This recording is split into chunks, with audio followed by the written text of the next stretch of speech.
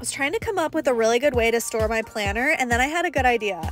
What's up? I'm Amanda, and right now I'm working on building the ultimate garage workshop. I just built these mobile workbenches and had the cutest little helper, and now I have a super functional way to store my saws that can be moved around as needed.